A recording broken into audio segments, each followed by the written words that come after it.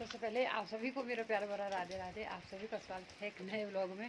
तो आज संडे और तारीख है आज तीन। और पिछले कल से ना लगातार बारिश लगी हुई है और चारों तरफ़ जो है धुंध पड़ी हुई है।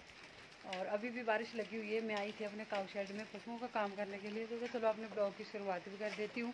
क्योंकि दो तीन दिनों से आपके साथ कोई भी ब्लॉग शेयर नहीं कर रखा है। और थोड़ा सा मैं आपको बैक कैमरे से भी दिखाऊँगी। और ये हमारे मंदिर का रंग पेंट होकर तैयार हो गया है। और शिवरात्रि आठ तारीख को है, आज तीन तारीख है। और हो सकेगा तो शाम तक आप को ये ब्लॉग मिल जाएगा देखने के लिए। और आज का जो मौसम है, वो मैं आपको बैक कैमरे से भी दिखाऊँगी। और आपको फ्रंट कैमरे से भी देख ही रहे कि किस तरह से धुंध पड़ी हुई है चारों तरफ़। और लगातार बारिश लोग लगी हुई है। दो दिन हो गए पूरे। और आज भी पूरा दिन बताई हुई है, पर पता नहीं, पूरा दिन रहेगी कि नहीं रहेगी, ऐसे पूरा दिन बताई हुई है। और लाइट भी नहीं है। लाइट थोड़ी देर के लिए आधा फेस आता है और फिर चली जाती है। तो आज कपड़े की धुलाई भी करनी थी, क्योंकि दो तीन दिनों से ऐसे पेंडिंग में पड़ा हुआ था। कहाँ सोच रहा था, आज कल परसों जिस दिन मौसम साफ़ होगा ना, उस दिन धुलाई करेंगे। तो बीच बीच में बादल भी होता था और टाइम भी नहीं लगता है। तो आज कपड़े भी की धुलाई भी है करने को। अगर थोड़ा सा मौसम ठीक हो जाएगा और लाइट मतलब फुल लाइट आ जाएगी ना तो मैं धो ही दूँगी। कपड़े की तो मैं कर ही दूँगी। आज धुलाई कुछ ना कुछ कर दूँगी, बस लाइट आनी चाहिए। तो थोड़ा सा बैक कैमरे से दिखाती हूँ और ना फ़ोन पर पानी भी बढ़ रहा है क्योंकि बारिश लग रही है, आप देख ही रहे हैं। तो थोड़ा सा बता देती हूँ चलते चलते। तो बारिश बढ़ गई है और मैं जा रही हूँ अपने काउ शेड में। आज लाइट तो है नहीं, हमने पशुओं का काम कर दिया है और पूरा काउ शेड अपना साफ़ कर दिया है। सुबह सुबह अभी टाइम आठ नहीं बजे दस पंद्रह मिनट पौने आठ बजे का टाइम हुआ होगा और बकरे हमारे यहाँ हैं। बकरे के लिए ना का थोड़ा सा टाइम भी नहीं दे रहा है भगवान जी। तो ऐसे भी अगर बेड़ के पत्ते गिले हो गए तो गिले पत्ते खाते नहीं, बिल्कुल नहीं। पशुओं के लिए घास दे दिया है। और जो हम ताज़ा ताज़ा घास लाते हैं ना घासने से, वो हमारा ख़त्म हो गया है, क्योंकि दो तीन दिनों से घास ला भी नहीं रहे थे। और ऐसे भी मौसम ख़राब चला हुआ था तो इस तरफ़ है हमारी तूड़ी। तो तूड़ी भी हमारी धीरे धीरे कम होती जा रही है, क्योंकि हम जो गेहूँ की तूड़ी है ना इसको देते हैं भिगो कर पहले इसको आधा घंटा भिगो देते हैं और और ये बड़े आराम से खा लेते हैं। और बाकी जो हमारा घास है, स्टोर वो है ऊपर तो जो जो भी दोपहर का घास देना होगा ना, वो हम ऊपर से लाएँगे घास की गड्डी नीचे। और अभी 10-11 बजे तक घास पशुओं के लिए दे ही दिया है। अब चलते हैं अपने किचन में, क्योंकि अभी चाय भी नहीं बनाई, अभी सिर्फ़ पशुओं का काम हुआ है। और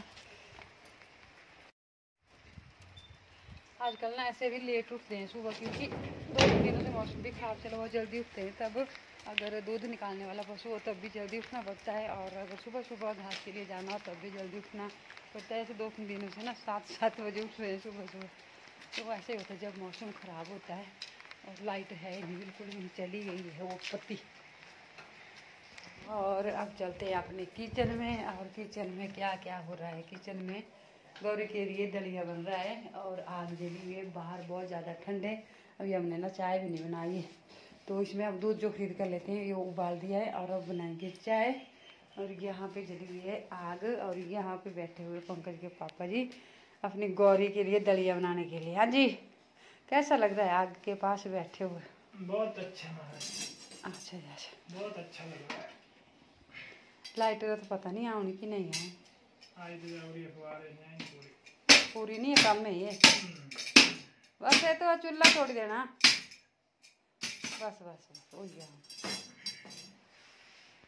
तो आज हम फिर से लिए आए हैं अपना जो पतीला होता है पानी गर्म कर, करने के लिए क्योंकि अभी पूजा भी करनी है तो स्नान तो सुबह सुबह ही करना पड़ता है क्योंकि हम देख रहे थे कि काउ शेड में काम कर लेते उतने को लाइट आ जाएगी ना तो गीजर ऑन करेंगे। पर नहीं आई और टाइम जो है ना आठ बजने लग चुके हैं तो इसमें करेंगे पानी गर्म और जल्दी से, क्योंकि धूप बत्ती का काम सुबह सुबह निपट जाए तो अच्छा है। और तो चलो, कर लेते हैं अपना कुछ, थोड़ा बहुत काम और फिर मिलते हैं आपसे। तो काफ़ी इंतज़ार किया लाइट का, और ये है चार्जिंग वाला बल्ब, और लाइट आई नहीं, पता नहीं आएगी कि नहीं आएगी, और मैंने रख दिया है पतीला चूल्हे पे पानी गर्म करने का, और ऊपर से लगा दिया फिर ढक्कन। और गौरी का जो दलिया है, उसको कर दिया है पीछे, क्योंकि इसमें एक दो उबाल आ गया है और अब पानी गर्म होगा, क्योंकि पहले धूप बत्ती का काम होगा ना, उसके बाद फिर जो भी काम रहेगा। और देखो ना, मेरे किचन में किस तरह का सुबह सुबह इतना खिलारा पड़ गया है तो मैं पहले यहाँ पे क्लीन कर लेती हूँ। और बाहर ऐसा लग रहा है कि मौसम भी ठीक हो गया है, धूप लग गई है और धूप बत्ती की तैयारी हो गई है और फूल वगैरह आ गए हैं, बर्तन भी आ गए हैं पूजा करने के। तो पानी छोड़ दिया है मैंने गर्म करने के लिए और बाहर लग गई है धूप। ये धूप ना शायद थोड़ी देर के लिए है और इस तरफ़ देखो किस तरह के बादल बादल लगे हुए हैं पूरे और इस तरफ़ आसमान थोड़ा सा साफ़ हो गया है।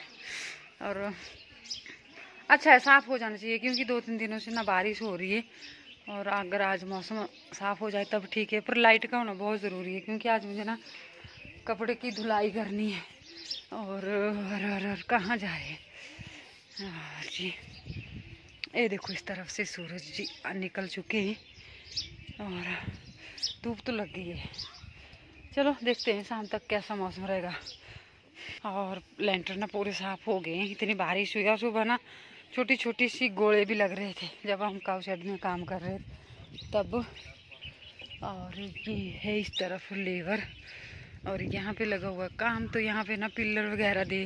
के बाद फिर दीवारें लगेगी इस पर और इस तरफ़ मौसम कुछ इस तरह का है। और शायद मौसम साफ़ हो ही जाए। हो सकता है। सुबह से ना बहुत तेज़ बारिश लगी हुई थी और पूरी रात भी लगी हुई थी बारिश। अच्छा है, अगर मौसम साफ़ हो जाए। और आज हमारी गौशाला में आ गए हैं कबूतर। और ये देखिए।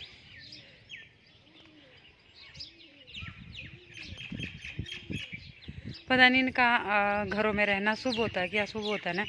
बताना मुझे, अगर किसी को पता होगा तो। तो बाहर का मौसम तो मैंने आपके साथ शेयर कर दिया है। अब चलते हैं अपने किचन में। और किचन में मुझे ढेर सारा काम करना है। आधी रोटी सब्ज़ी भी बनानी है और पानी भी गर्म करना है। तो उसके बाद फिर मिलते हैं आपसे। है ना?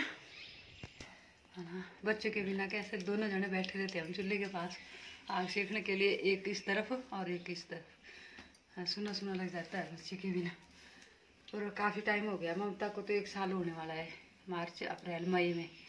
मार्च चला हुआ ना मई में हो जाएगा। ममता को एक साल और पंकज को कितने महीने हो गए? सात आठ। सात आठ महीने पंकज को भी होगी अब हमें ना धीरे धीरे आदत भी पड़ने लगी फिर कभी कभी लगता है ऐसा। अकेला जैसा महसूस होता है। जब आ, बाहर चले जाते हैं ना काम करने के लिए तब मेरे को लगता है ऐसा इनका तो पता नहीं पर मेरे को लगता है ऐसा ऐसे तो हमने दोनों जने ने ना गाड़ी चलाई हुई है धीरे धीरे करके काम की। क्यों जी? हाँ जी। तो चलो। तो चलानी पड़ेगी। हाँ चलो अब कर लेते हैं। रोटी सब्ज़ी का कुछ फिर देखते हैं। अगर लाइट आ जाएगी ना तो आज बहुत ज़्यादा कपड़े हैं धोने के लिए काफ़ी दिन एक हफ़्ते से मैं कपड़े की धुलाई नहीं कर रही हूँ सिर्फ़ वही धोती हूँ। एक सूट अपना और एक इनका जो हम यूज़ करते हैं उनको मैं ऐसे हाथों से धो देती थी और सोचा कि आठ दस दिन के बाद फिर जो भी एक्स्ट्रा कपड़े होते हैं ना उनकी धुलाई बाद में करूँगी। पर चलो लाइट आ जाए तब अच्छा है आज पूरा काम निकल जाएगा और मौसम भी हो रहा है साफ़ और शायद हो ही जाए तब ठीक है। धूप निकल गई आज। हम्म।